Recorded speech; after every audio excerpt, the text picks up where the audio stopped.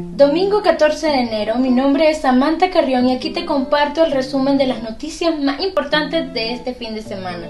Rolando Álvarez junto a otros sacerdotes, seminaristas y obispos sí alcanzaron en el avión. Esperamos hayan tenido un buen viaje y que disfruten su eterna estadía en donde sea que estén. La nota de prensa publicada por nuestro Gobierno de Reconciliación y Unidad Nacional, agradece al equipo del Vaticano y a su jefe de Estado por las negociaciones discretas y respetuosas. Esto hizo posible el feliz traslado al Vaticano de dos obispos, 15 sacerdotes y dos seminaristas que aquí se detallan sus nombres. Ellos han sido ya recibidos por autoridades vaticanas en cumplimiento de acuerdos de buena fe y buena voluntad que buscan promover entendimiento y mejorar la comunicación entre la Santa Sede y Nicaragua para la paz y el bien.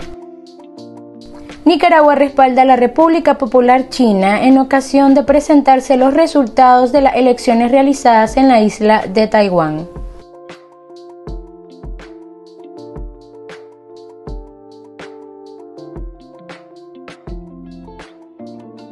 Fue un fin de semana lleno de actividades familiares. Los centros turísticos de nuestro país reportan gran cantidad de visitas y esto ayuda a fortalecer los lazos de la familia y la unidad.